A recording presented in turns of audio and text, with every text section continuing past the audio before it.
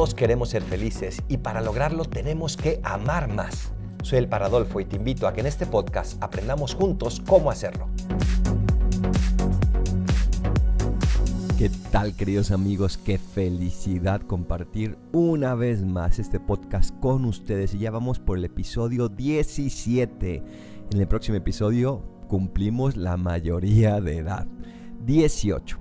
Qué maravilla el poder cada semana compartir estos 15, 20 minutos de reflexión, de profundización, de interiorización, porque este podcast se trata de ayudarte a vivir mejor. Se trata de ayudarte a amar más, porque el fin de nuestra vida es amar y cuando no amamos, no estamos completando aquello para lo cual fuimos creados.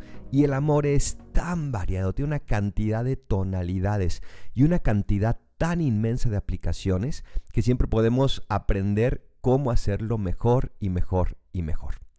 Y la vez pasada ya hablábamos de ese tema de aceptarse. Hace dos semanas hablamos el primer paso que era conocerse. Si no me conozco no puedo aceptarme y si no me acepto no puedo superarme. La aceptación no significa hacer las paces con lo que no me gusta o hacer las paces con aquello que está mal. Significa reconocer lo que está bien y lo que está mal y por lo tanto comenzar a dar ese paso para estar cada vez mejor. Hay un recuerdo que a mí se me viene muy constante de mi infancia y es el famosísimo carrusel que ponían en la feria de Navidad. Me encantaba desde niño ver esos caballos, esas figuras, esos dragones, esos caballeros, esas carrozas, ver cómo la música iba al ritmo del movimiento, ver cómo subían y bajaban y ver cómo daban vueltas y vueltas y vueltas. Tal vez sus figuras estaban un poco agrietadas, tal vez ya estaban decoloradas, pero no importa. La ilusión lo suplía todo. Y de niño nos encantaba y estábamos convencidos de que no había un carrusel más elegante y más fino que el de nuestra feria. Y cada vuelta estaba adornada de mil y una fantasías y todo era soñar y soñar y soñar. Y este recuerdo se me presenta como una advertencia. A veces en la vida podemos vivirla como un carrusel. Cada uno de nosotros va encima de un caballo y dejamos pasar el tiempo mientras la vida sigue girando y girando y girando. De vez en cuando, como sucede con los carruseles, se detiene y algunos se inquietan, algunos se limitan a disfrutar su mareo esperando que vuelva a dar vueltas, la música les va adormeciendo y las luces les encandilan y son incapaces de verse en otro juego o en otra situación nos quedamos en ese carrusel. Pensamos que así como estamos, estamos bien, estamos contentos y elegimos la comodidad, elegimos lo fácil antes que lo valiente, antes que lo desafiante, antes que lo retador. Y somos incapaces de dejar lo que estamos haciendo. Cuando estamos así, la vida continuará siempre girando sobre ese eje y se convierte en un eterno girar y girar y girar. Y por eso muchas vidas a medias, muchas vidas arrutinadas, muchas vidas sin ninguna otra opción que el seguir girando y girando y girando. ¿No te sientes tú a veces en esa rutina que como que te adormeció? Que como que no te deja ser tú mismo, que no te deja vivir mejor, que no te deja superarte. Otras personas al contrario, por el contrario, aprovechan las paradas para bajarse del corcel, para recorrer la feria entera. Se dan cuenta de que hay que madurar, de que conlleva tomar riesgos, de que tal vez estaban ya muy seguros en ese juego, que no tenía tantas subes y bajas, que ya sabían cómo funcionaba, pero llegó el momento de comenzar a experimentar nuevas cosas, de comenzar a vivir, de comenzar a abrazar la vida con valentía. Y tal vez temblaron cuando se bajaron, tal vez les dio miedo, pero no volvieron la vista atrás. Son esas personas que aprendemos a admirar porque supieron superarse, esas personas que comenzaron a destacar en cosas donde, donde tal vez antes parecían muy cortas o muy normales. Y sin embargo, comenzaron a hacer aquello que siempre habían soñado, comenzaron a superarse. Qué envidia ver ese tipo de personas, pero también qué confianza el saber que nosotros podemos también hacerlo. No importa la edad que tengas, no importa si tienes 15, no importa si tienes 20, si tienes 30, si tienes 50 u 80 años. Siempre en la vida nos podemos superar porque siempre hay nuevos retos que podemos afrontar. Y a mí me encantaría que el podcast de este día fuera como esa parada del carrusel, que nos diéramos cuenta de todo lo que tenemos frente a nosotros, que percibiéramos que tal vez estamos ya metidos en una rutina y que por eso no nos sentimos felices, que percibiéramos la opción de quedarme sí en esta rutina, de seguir dando vueltas o de bajar y recorrer el resto de la feria. Son momentos estos podcasts para reflexionar, para saber y pensar que siempre podemos tener otra oportunidad, que nunca estamos determinados a seguir viviendo como estamos viviendo hasta ahora, que siempre podemos avanzar, que siempre podemos ser mejores. Claro que esta es una opción libre, claro que yo puedo elegir seguir aquí, porque me encantan las luces, la música y el ritmo tranquilo del carrusel en el que vengo atascado tal vez desde hace muchísimos años.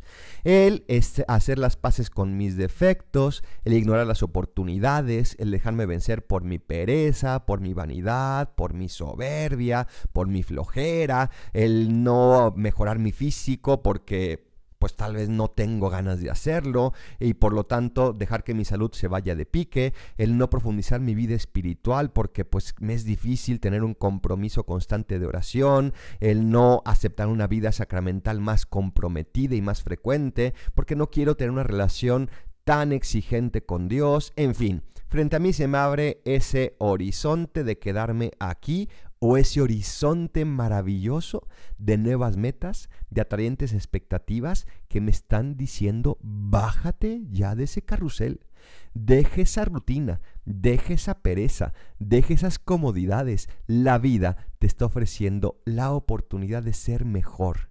Decíamos en el primer episodio de esta serie que conocernos tenía que llevar a conocer nuestros defectos, pero no hacer las paces con ellos.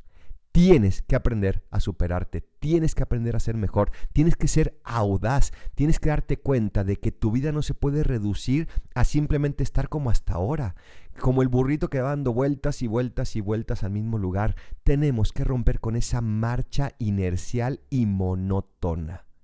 Hoy te invito, salta de ahí, rompe con la timidez, rompe con el miedo, rompe con ese temor de ser distinto a los demás, rompe contra la injusticia, rompe frente al miedo de qué dirán, salta de ese vicio del alcohol o de la droga, rompe con esas cadenas que te tienen ahí atado, rompe y date a la tarea de ser la mejor versión de ti mismo porque puedes superarte. Atención. Superarse no significa dejar de lado lo que somos. Superarse significa comenzar a construir sobre esto que somos. Y yo estoy convencido de que esa tarea de superarme tiene que comenzar por una cosa. ¿Qué es? ¿A cuál, ¿Cuál es aquel defecto que más se repite en mí? En terminología espiritual se llama el defecto dominante. ¿Qué es aquello que más problemas me da? Normalmente se habla de dos ramas. Por un lado está la rama de la sensualidad y por el otro, otro lado está la rama de la soberbia. La sensualidad es todo aquello que me lleva a mi comodidad, que me lleva a darme satisfacción de todo lo que mi cuerpo me pide, que me lleva simplemente a la pereza, a la lujuria, al alcoholismo, a la glotonería, etcétera, etcétera, etcétera. Es decir, todo aquello que lleva como ese excesivo excesiva condescendencia con mi cuerpo y con mis aparentes necesidades, que no son para necesidades, sino a veces exigencias sin sentido. Y por otro lado es el lado de la soberbia que me lleva a sentirme demasiado importante, a pensar que yo puedo hacer todo por mí mismo, a pensar que no hay nada ni nadie que pueda oponérseme a mí, a saber que yo soy lo máximo, etcétera, etcétera, etcétera. Y es un defecto muy grande. Ahí entra la vanidad, ahí entra la avaricia, ahí entra esa soberbia, esa, etcétera, etcétera. Tenemos que elegir un defecto dominante y después trabajar las virtudes que sea contraria a ese defecto. En otro episodio vamos a hablar de lo que es un plan de vida espiritual y cómo poderlo desarrollar, pero por ahora les dejo con esto. Y es que podemos tener un excelente conocimiento de nosotros mismos, podemos aceptarnos tal como somos, pero si no le hacemos caso a la exigencia que surge de nuestro corazón, esa exigencia que dice, tú puedes mucho más, tú puedes superarte, salta ese carrusel y recorre la feria, si no le hacemos caso, ahí nos vamos a quedar para siempre. Cuando pienso en esta consigna de superarse, me viene a la mente el juego de damas inglesas. Si se acuerdan ese juego que es cuadrado y que tiene dos colores y es simplemente uno contra otro. Y se rige esencialmente por tres reglas que hoy te quiero compartir, que son las reglas por las cuales nosotros también debemos de guiarnos en nuestra vida. Primera regla, no se pueden dar dos pasos a la vez. Qué fácil nos olvidamos de esta verdad. Con frecuencia queremos comernos el mundo, con frecuencia nos damos cuenta de lo mal que estamos en ciertas cosas y queremos cambiar de un día para otro, queremos conquistarlo todo en un instante, en un ya. Pero parece que siempre hay algo que se opone. Y creo que eso que se opone es que queremos llegar enseguida a la meta, cuando tenemos que tener como meta algo exigente, pero saber que se va llegando paso a paso. Y no estoy hablando de conquistas externas, ¿eh? De conquistas internas, que esas son las más difíciles. Cambiar un defecto, cambiar un mal hábito, no es tarea de unos días, no es tarea simplemente de proponérnoslo, es tarea de cada día y estar encima de nosotros prácticamente toda la vida. Y es que como dice el proverbio chino, con la ayuda del tiempo y de la paciencia, la hoja de la morera termina por convertirse en seda, pero no de un día para otro.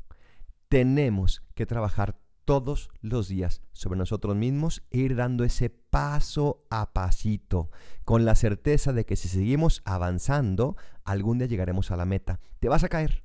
No pasa nada. Lo importante es tener la dirección correcta. A veces te vas a desviar. No pasa nada. Lo importante es volver a esa misma dirección. Y en las caídas me levanto porque sé hacia dónde estoy yendo. Segunda regla, solo se puede ir hacia adelante, no hay marcha atrás. En la vida, como en ese juego de damas, no podemos volver la vista atrás una vez que tenemos con claridad qué es lo que Dios nos está pidiendo y qué es lo que tenemos que hacer para responder a su voluntad. Claro, si hay dudas de eso, vuelvo atrás en el sentido de que hago un discernimiento para darme cuenta de si esto que estoy haciendo estoy haciéndolo de cara a Dios o simplemente es algo que a mí se me ocurrió o que alguien me impuso. Pero si ya dimos ese banderazo de salida y tenemos la convicción de que por aquí me está enviando Dios, no hay marcha atrás. Como dice Jesús, el que pone la mano en el arado y vuelve la vista atrás no es digno de mí. A mí me encantan las leyendas griegas y en ellas se relata a estos seres mitológicos llamados sirenas, que eran mitad seres humanos y mitad pescados. Y tenían una manera de cantar preciosa. Y todos aquellos que pasaban por allí escuchaban ese canto como que los hipnotizaban y caían en sus garras y se daban cuenta de que no eran para nada hermosas, sino todo lo contrario, destruían su misma vida. ¿Cuántas sirenas se afrontan en nuestra vida a diario? ¿Cuántas canciones por ahí que nos dicen que es más hermoso dejar de luchar, que es más hermoso dejarse llevar por lo fácil, que es más profundamente liberador el dejarse llevar por los instintos? Y el heroísmo que debemos de encarnar todos los días es abrazar nuestras metas, superarnos, no dejarnos llevar por esas sirenas, superar con todo arrojo cualquier problema y cualquier dificultad, aunque todos los días tengamos ganas de dejarnos llevar por esas sirenas de la comodidad, del conformismo, del qué dirán, etcétera, etcétera, etcétera. Tormentas y trucos y fracasos siempre habrá pero por encima de todo debe brillar nuestro ideal, y este será suficiente para derribar cualquier obstáculo, pase lo que pase. Tercera regla, cuando se llega a la meta, entonces sí se puede ir a donde quiera. Una vez que has combatido con madurez por lograr tus cualidades, vas a poseer un equilibrio y una armonía interior preciosa. Vas a adquirir un recio control de ti mismo que te va a hacer responsable de tus decisiones y que te va a dar muchísima libertad. Eso es lo que nos pasa cuando conocemos a personas que han luchado y que han trabajado sobre ellos mismos. Nos damos cuenta de que tienen algo más. ¿Y qué es ese algo más? Que han logrado superarse, que han logrado imponerse a sus tendencias y conquistar aquello que su corazón les estaba pidiendo. La lucha sincera les ha llevado a descubrir que solo amando puede llenar su corazón. Después de tiempo, cuando logramos cambiar nuestros defectos en cualidades, nos daremos cuenta de que todo el esfuerzo ha valido la pena. Estos éxitos nos recargan las energías para seguir luchando y avanzar y para superarnos, pero no tenemos éxitos todos los días. No busques esas, esas, satisfacciones todos los días, porque tal vez pase muchísimo tiempo antes de experimentar que estás avanzando. No pasa nada, no te dejes marear por el eterno rodar de una vida rutinaria, por esa musiquita agusta de un carrusel. Salta de ahí y avanza día a día, mes con mes, año con año. Hoy, hoy, afronte eso que te cuesta afrontar. Hoy ya decídete a romper con esa amistad que no te está llevando a nada bueno. Hoy decídete a romper con ese vicio que te tiene encadenado desde hace muchísimo y no te deja amar. Hoy decídete a superar todo aquello que no te deja ser tú mismo y te aseguro que jamás te arrepentirás de haber luchado. Y ya verás como que una vez superado vas a agradecer que decidiste un día dejar detrás todo ese carrusel donde te sentías muy a gusto y muy seguro, pero estás disfrutando de toda la feria. Aunque los desafíos sean muchísimos, tu capacidad de la mano de Dios es infinita. Tú puedes. Te invito a compartir este episodio para ayudar a otras personas que seguramente necesitarán escuchar este mensaje. La verdad es que lo hago con muchísima ilusión y con toda la convicción de que de la mano de Dios, con los medios que nos vaya poniendo, siempre podremos ser mejores. Recuerda buscarme en mis redes como Padre Adolfo y si tienes alguna sugerencia sobre algún tema, escríbeme a librospeadolfo.gmail.com y estaré encantado de escuchar los temas que te gustaría que compartiéramos. Pues soy el Paradolfo, recen por mí, yo rezo por ustedes. Bendiciones y hasta la próxima.